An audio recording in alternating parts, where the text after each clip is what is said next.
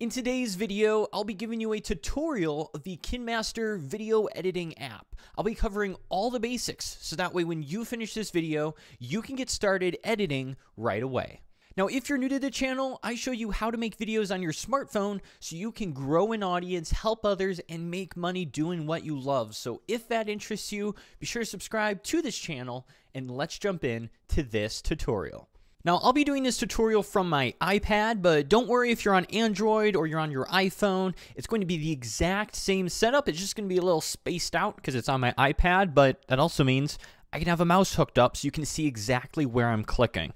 So to start, we're just going to click the plus button over here allow access to all my photos. And here we can change our aspect ratio. So if you're going to do like an Instagram or like a TikTok, you could do that. But we're just going to do this for YouTube. 16 by 9, that's the standard. So we're going to click on that. All right, now this looks very scary. You see all these settings and knobs. Just don't worry about them. I'll be showing you the ones you just need to care about to get started. So if it looks complicated, don't worry. Uh, the main area we're going to be looking at is just this little knob here. Um, that's all you really have to pay attention to. Um, and then also the delete button, which we'll get into later. But so to start, what we're going to do is click on media over here, and that's going to open up all our footage where we can find it. You can choose all. Uh, I actually have a album called Video Editing, uh, where I have all the videos we're going to be using for this tutorial.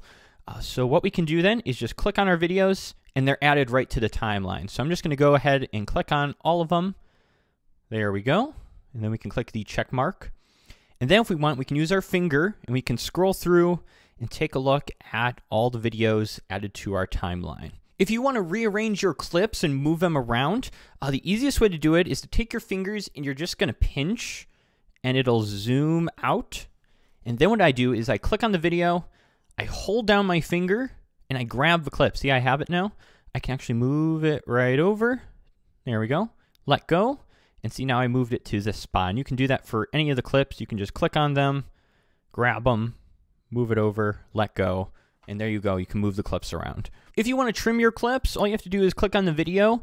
Uh, there's two ways you can do this. Uh, the first way is you can just grab either edge of the clip and extend it and move it just like that.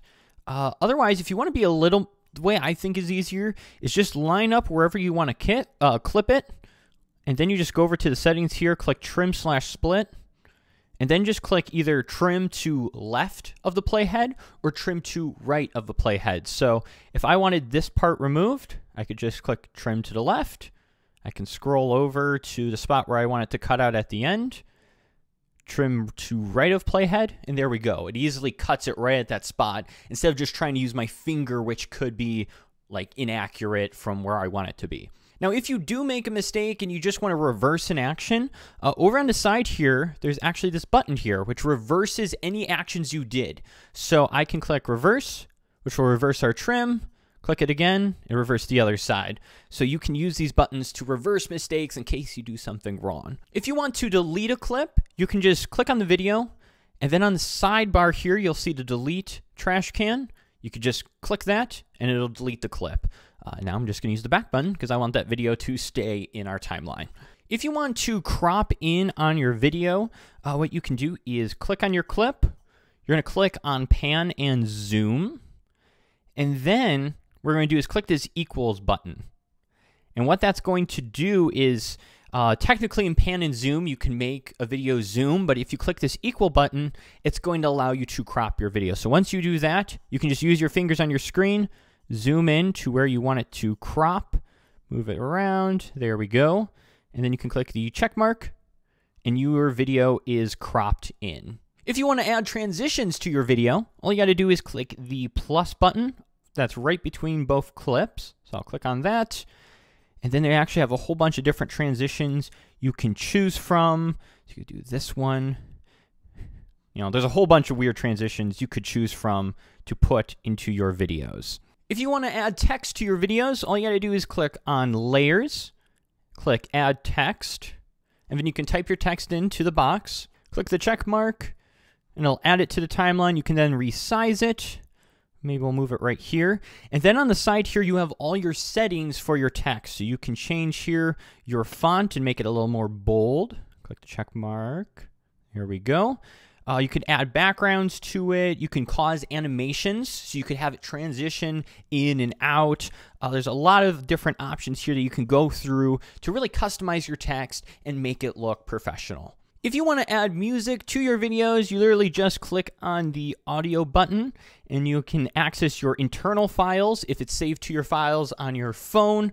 Uh, otherwise, you can go to like your Apple Music and different stuff like that and be able to add music to your timeline. Uh, personally, I like to use a screen recorder. I actually did a video on how to add music to KineMaster and get music off of YouTube into your timeline. I'll have that link down below if you want to watch it. But here you can access all your internal music on your smartphone and use it.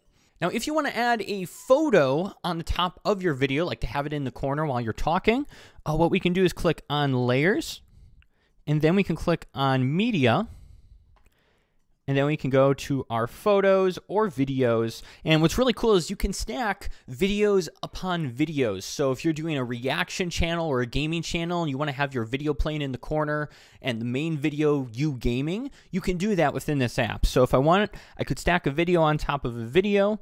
Uh, otherwise, I could also put a photo. I can just go down the photo here, click that, click all, and I'd be able to add photos. So I could click on, for example, this Instagram logo. There we go. I can resize it. I could put it in the corner like that. And then on the side here, you do have all those awesome uh, features like that you can use to enhance your photo, whether that's animations or filters, etc.